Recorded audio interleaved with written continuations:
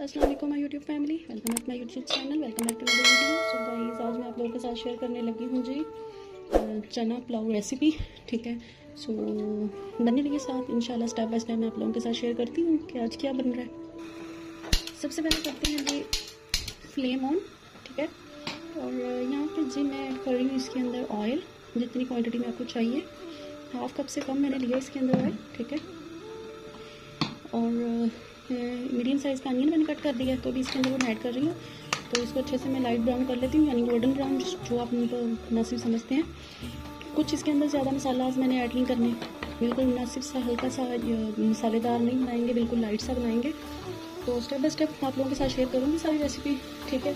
तो यहाँ मैंने चने जो हैं जी वो मैंने बॉयल करके रख लिए ठीक है, वो मैं साइड पर निकाल के फिर आप लोगों को दिखाती हूँ। यहाँ पे जो मैंने लिया है कि मिक्सर चने मैंने लिए, मैंने वाइट अकेले नहीं लिए, मैंने दोनों को मिक्स कर लिया है। बेसिकली ये पहले मैं इनका सालन बनाने लगी थी तो फिर मैंने सोचा कि क्यों ना इनका पुलाव बना लिया जाए और आप लोगों के साथ भी इसकी रेसिपी शेयर कर दी जाए। कि कैसे हम अपने स्टाइल में, मैं कैसे मेरी स्टाइल में पुलाव बनाती हूँ वेजिटेबल पुलाव मैंने आप लोगों के साथ रेसिपी शेयर की थी। और आपने रेसिपी बहुत लाइक की तो इसीलिए आज मैं आप लोगों के साथ चना पुलाव रेसिपी लेके आई हूँ। तो इसके अंदर मैंने ऐड करना है जी हाफ़ टमाटो और दो सब्ज़ मिर्चें। मैंने चने आपको दिखा दी ठीक है?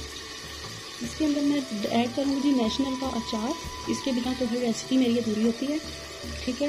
और बाकी स्पाइसी जो भी ऐड किए वो मैं आप लोगों को स्टेप बाई स्टेप बताती जाऊँगी तो ये देखेंगे बिल्कुल मैंने आप लोगों ने जितना इसको फ्राई करना है, आप कर सकते मुझे अभी थोड़ा सा और इसका कलर चाहिए तो मैं अब इसका थोड़ा सा और इसको ब्राउन करती हूँ। तो अभी जो मेरे पास ये कटा हुआ टमाटो और सब्ज़ मिर्च है ना, मैं वो इसके अंदर ऐड कर दूँगी। एंड अभी ये देखेंगे मैंने इसके अंदर ऐड कर दिए हैं जो चने अपने, ठीक है? अभी मैं इसके ऊपर मसाला ज़्यादा ऐड करने लगी हूँ। सबसे पहले इसके अंदर मैं ऐड कर रही हूँ जी सॉल्ट राइस में थोड़ा ज़्यादा ही जाता है, हंडी की इसमें तो अपने टेस्ट के अकॉर्डिंग डाल सकते हो। और अभी इसके अंदर मैं ऐड कर रही हूँ ब्लैक पेपर ठीक है? थोड़ी सी मैंने ऐड की ज़्यादा नहीं ऐड की इसके अंदर। ये देखिए जी। अभी इसको अच्छे से भून लेती हूँ मैं, ठीक है? मसाला जाता इसके अंदर, मैं थोड़ा सा भी गर्म मसाला इसके अंदर ऐड करूँगी। मुझे पता है हर किसी का डिफरेंट स्टाइल होता है बनाने का, ठीक है? तो मैं इसके अंदर ये दो दालचीनी के ऐड करी टुकड़े इसके अंदर, ठीक है? हर किसी का अलग अलग स्टाइल होता है बनाने का। तो मुझे ये अच्छा लगता है, ठीक है? तो मैं अपने इसी टेस्ट के अकॉर्डिंगली इसे बनाती हूँ, ठीक है? अभी जी जितने आपने चावल लिए हैं, उससे दुगना मैं इसके अंदर पानी ऐड करूँ। पानी चना वाला भी मैंने इसके अंदर ऐड किया मैंने उसको फेंका नहीं है। ये देखें जी, बिल्कुल, ठीक है? अभी आप इसी अकॉर्डिंग आप पानी चेक कर लीजिए, ठीक है? नमक वगैरह इसके अंदर आप चेक करिए अगर आपको कम लग रहा है तो आप इसके अंदर थोड़ा सा ऐड कर सकते हो जितना आपको कम लगता है। इसी स्टेज पे अगर आप लोग कोई पुलाव मसाला ऐड करना चाहते हो तो वो आप लोग कर सकते हो। तो यहाँ पे मैं थोड़ा सा इसके अंदर पुलाव मसाला ऐड कर रही हूँ ठीक है आप अपने टेस्ट के अकॉर्डिंग इसके अंदर ऐड कर सकते हो। अगर आपके पास बिरयानी मसाला है या पुलाव मसाला है तो आप कुछ भी ऐड कर सकते हो। तो अभी कर रही हैं जिसको मैं कवर ताकि पानी में बॉइल्ड आए तो फिर हम राइस डालें इसके अंदर। कुछ लोग वैसे ही इसके अंदर मतलब कि नहीं डालते चावल कुछ लोग वैसे ही साथ खाते हैं तो मैं तो इसके अंदर ऐड करके खाती हूँ, क्योंकि वो नरम हो जाता है ना तो फिर अच्छा लगता है। तो मैं तो ऐसे इसके अंदर ऐड करती हूँ, मेरे हस्बैंड भी बड़े शौक से खाते हैं, चावल वाले राइस जो होते हैं तो ये मैंने इसके अंदर ऐड कर दिया है। एक मैं लेमन भी इसके अंदर ऐड कर रही हूँ, ठीक है? ये आपके ऊपर डिपेंड अगर आपने ऐड करना भी है तो कर सकती हूँ, या किस तरह आप ऐड कर सकती हो। तो वो आप पे अभी मैंने इसको कर दिया जी कवर, पानी बॉइल्ड हो जाए तो फिर इसके अंदर राइस ऐड करते हैं। पानी को आ गया जी अच्छे से बॉइल्ड अभी इसके अंदर मैं राइस ऐड कर देती हूँ, आप लोगों के सामने है ठीक है?